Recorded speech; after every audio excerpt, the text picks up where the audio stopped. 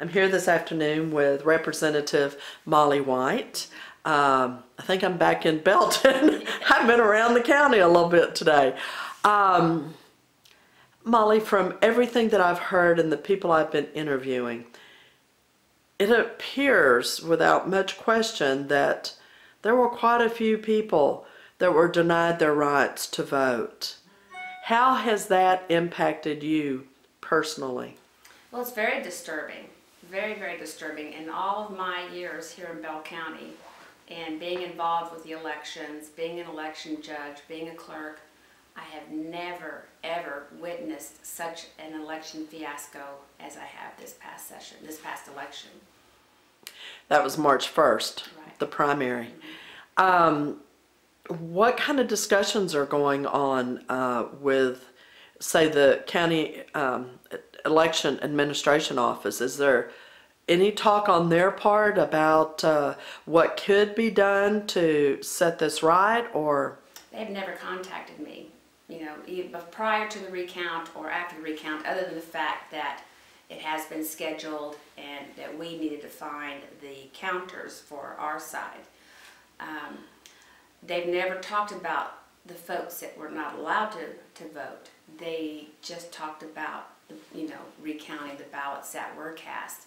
Uh, but on election night, um, people started coming into where we were watching the election results, and it's the Bell County Expo Center, and started telling me about events that were happening at different precincts where either they voted or didn't get to vote, or where they were running out of ballots. And I didn't know any of this stuff. I stayed in my precinct, or you know, eh, all day long. And yes, they did run out of ballots uh, twice, but they were able to get what they needed. Um, but when I started hearing reports about, um, you know, the, the, the shortage of ballots and then people being turned away and not being a- allowed to vote, uh, and then those reports started coming in as the, days following the election, even Yes. up until today.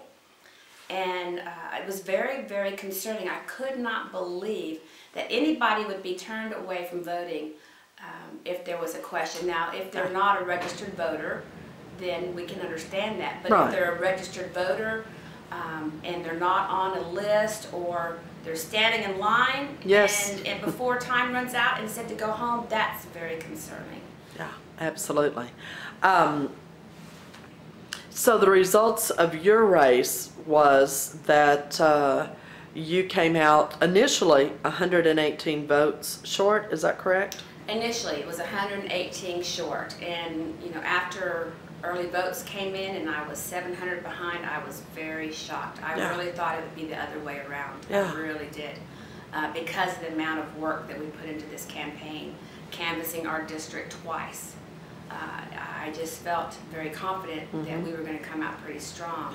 Uh, but by time all the other precincts votes came in, and they didn't, we didn't get the results until six or seven o'clock the next morning. Oh no. Yeah, we Oh. did not get the results. We had to go to bed without knowing.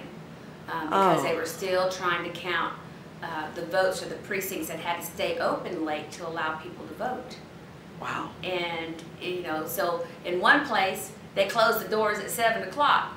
And people standing in line past a certain line, they couldn't vote even though they were there. In other places, they kept the doors open until nine o'clock, until everybody had a chance to vote, you know, waiting on the uh, emergency ballots to come in. Uh, So anyway, we did not get the results reported. I, I heard it on the news actually the next morning. Oh my.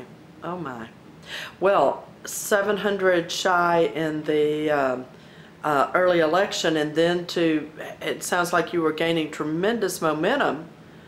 Uh, to only fall, it ended up 118, then the recount, I think 104 or something like. 104 with the recount. Yeah. And that's because they had one precinct that was not voted at all, I mean counted at all during the Initially. initial count. So things were just one fiasco after another. Um, the people that you have visited with that uh, were not allowed to vote, what uh, what is their feeling as far as what should be done? Well, they believe in a recount, or, or revote. A I'm revote, sorry. They yes. really do. They, they, even the folks that worked the precincts um, uh, believe that there should be a revote, um, especially with those who did not get to vote. Uh, Yeah. I know of one woman who uh, said that she had requested a mail-in ballot, well, her mail-in ballot never came. So she went to her precinct that day to vote, and they would not allow her vote, saying that she'd already voted. She explained the situation, no, I never got my ballot. Well, I'm sorry, you can't vote.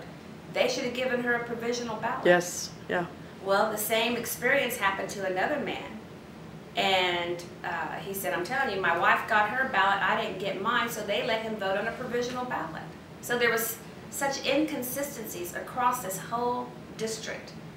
And, um, but people are upset, you know, they're very upset, especially those who got turned away and were not allowed to vote. yeah. One of the young men that I uh, interviewed earlier today talked about literally feeling like a criminal because his rights had been taken away from him. And that was an interesting parallel for him to uh, connect it that way. It should never, ever have happened in the state of Texas or anywhere across the country. And I don't know of any other uh, county in this state that's had such problems uh, besides McLennan County. And they, it was just a very close race. It wasn't that they were running out of ballots, but it was a close race and they were able to get a recount or a revote on a particular race in McLennan County. Have they- Mine was totally different. Have have they scheduled that revote? Yes, it's, it's going to take place the same time as the runoff elections. I see. Okay. So that is something that you would like to actually see happen uh, in your case. And I think I heard that there were a couple other races that Yes. potentially were as close and that people were denied. I mean, because they weren't allowed, if they weren't allowed to vote, they didn't get to vote local, state, or national. Right, So- exactly, exactly. It's been very disturbing, and the more reports that I hear that are coming in daily, I'm getting emails or phone calls, the more disturbed I am. And when I, you know, when I see precincts that I should have clearly won, that I lost by maybe one or twenty or forty, it's, you know, it just causes me to question, you know, are those the precincts that had such trouble? And I know most of them are, Yeah, yeah. running out of ballots. And they're, they're the more rural, that's a hard word to say Rural. sometimes, uh, uh, locations, so They were very much yeah. in my pocket, you know, they were very much supportive of me Mhm, because of, of, you know, my strong conservative stance. yeah, Uh, and we worked those areas very hard. Um, you know, but if the race was a clean race and, and no problems, no reports, and I lost, that's fine, you know. Right. Uh, but when I hear of voters being turned away, and sometimes in just about every precinct that they ran out of ballots, people left because either they didn't want to stand in line or they were told to go home. Well, and it's very hard for the older folks to stand for any great length of time. Health issues and things along that line kick in as well, which is unfortunate. So, Yeah, it's been very disturbing, very disturbing that, especially when voters were denied the right to vote. yeah. So, in your situation, what's the next step? Or what do you recommend so that this doesn't happen um, to anyone else in the future? Well, this is going to help get the word out. Uh, We do need to talk to the Republican Party of Texas. We need to send them this information and have a dialogue uh, and have them really look into this particular county and see exactly what the problems were. Yeah, absolutely.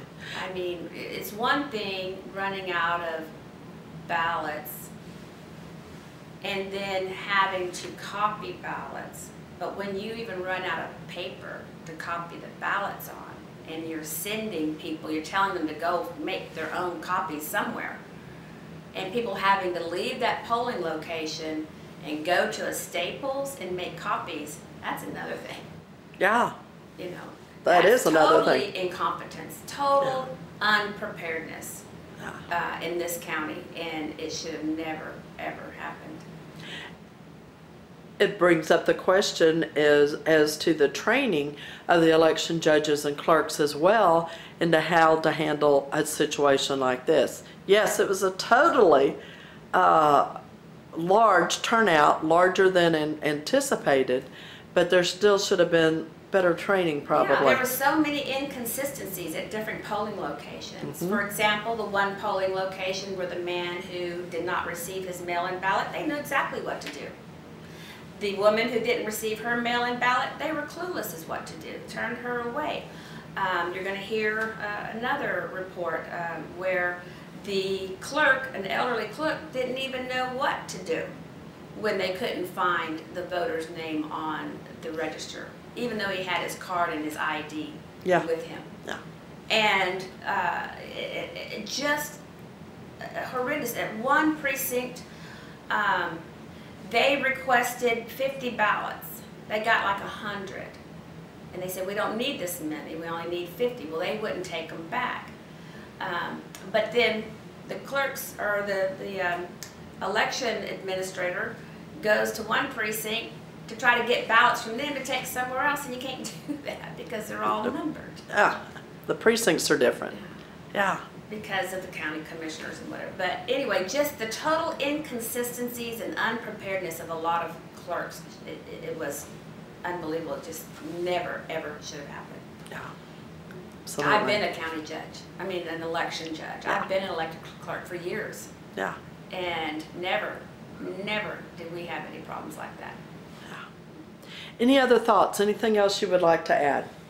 Well, um, I just feel like this needs to be looked into further, whether it changes election results or not. Uh, it needs to be looked into further to make sure it never happens again Anywhere. anywhere. Yeah, Everyone has the right to vote. Every polling location should be fully prepared. Every judge, every clerk, fully trained yes. to know exactly what to do in every situation. And uh, if they are not competent to do it this time, they probably shouldn't be able to do it next time. I think that's well said. My, Representative White, I appreciate very much your time this afternoon.